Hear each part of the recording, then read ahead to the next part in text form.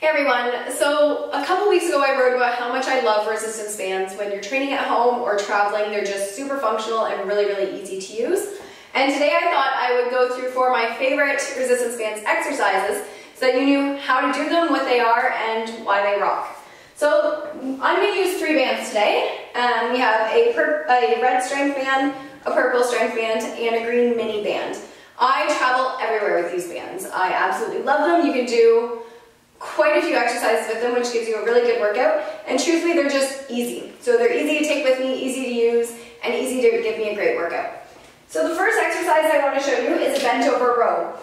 One of the problems with training at home is even body weight is you can't work your back muscles. And back muscles are really important for moms because our posture gets a little bit wonky between pregnancy and holding a baby, we tend to round forward. So the stronger our back muscles are, the more we're going to stand upright and help pull our shoulders back which results in less back pain and back muscles are pretty. So what I want you to do is you're going to step on the band. You're coming to a bent over position. So making sure that my back is flat. I'm not rounded and I'm not squatting. From here, get your desirable tensions, whether your feet are wider or more narrow. And then you're going to roll your arms up, pinch your shoulder blades, pause, and release. And roll them up, pause, pinch, and release. So a couple things that you don't want to do are to round your back. So this isn't, isn't going to work your back muscles, it's just going to hurt them. What you want to do is make sure that you are flat back, sticking out your bum, and keeping a neutral head or neck alignment so that your neck isn't cocked up. Okay, so pull and release. Okay, so making sure when you do that pull back that you're actually pausing at the top and not just jerkily going back and forth. So the next exercise I wanted to show you is a band shoulder press with pull apart. So we overlook shoulders a lot in training programs, and truthfully, not a lot of us hang out with our hands overhead. It's one of the old wives' tales that if you don't use it, you will lose it, and I find that really, really true. So you do want to make sure you're taking your shoulders through a full range of motion. This exercise not only does just that, it adds a little bit of resistance, and it targets your back muscles with a pull apart. So you're going to come into a wrapped position. And what that means is standing on the band, you're to take your elbows in between the band. This is your starting point, right underneath your chin. So in this position, the closer my feet are, the easier the press will be, and the wider, the harder, because it creates more tension. You're not leaning forward, so you have a nice upright posture. You're going to press the band up, lock out to the top, so bring my shoulders back to my biceps, and pull apart, bringing my shoulders down from my ears, my arms out wide. Come back up to the top, and come down. Okay, so press up, pull it apart, back up, and down. Couple mistakes I see people making is when they press up, they are pressing out to here. Try, depending on your shoulder mobility, try to get your arms, your biceps to line up with your ears. This is called a locked out position. From here though, we are not leaning forward, so we are very, very upright with a nice neutral back. On the pull apart, it's not flexing your elbows, it is opening up your arms and feeling your shoulders go down your back. Okay, so this is your pull apart, not this, and not hinging backwards, because that's just going to cause sore shoulders. So from the back, what this looks like, this is your racked position. You press up, pull apart, come back, and come down. Okay, so exercise number three is going to use this mini band, and I love the mini band. The mini band is the one I use the most whenever I'm targeting glutes. So today we are going to do a banded squat. So you're going to take this band, and loop it around your legs. Now, it can be below your knees or above them. I personally find a little bit more tension when I go below my knees. Sometimes I use two bands just to get a little bit more of a glute squeeze. And you're going to do a banded squat. So whenever you squat, I want you to think of sinking back, but I also want you to think of driving your knees out. Too often we see this in a squat, and that's really, really bad for your knees. It causes a lot of pain. So the band forces you to drive out against it using your glutes to do so. Your glutes are responsible for external rotation.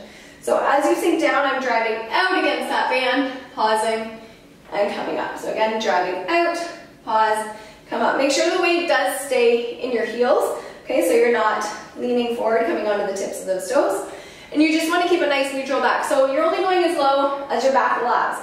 Meaning if I come down to here, and then all of a sudden I round my back, that's probably a little bit too deep for your mobility. You want to make sure you have a nice neutral back coming down, driving those knees out, pause, and come up. So you do have to use your bum muscles, specifically in the bottom position. So when you are down here, we don't want to see this line, these knees caving in where they're on the inside of our toe. We want to use our glutes to drive them out. Okay, so then you're going to push up.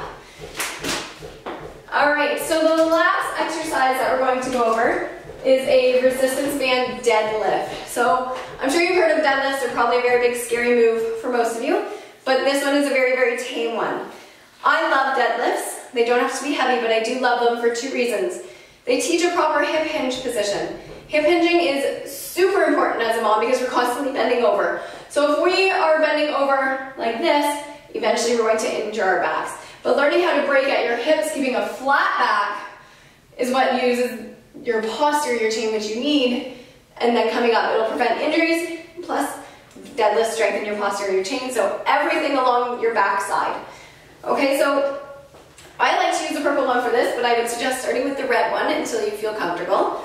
You're going to double band the band and wrap it along your feet. So I'm going to show you a side view here.